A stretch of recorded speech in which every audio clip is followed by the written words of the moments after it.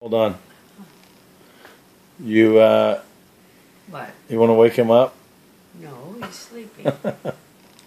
Mimo told him she'd take care of him. I'm gonna take care of him. Mason. Shut up.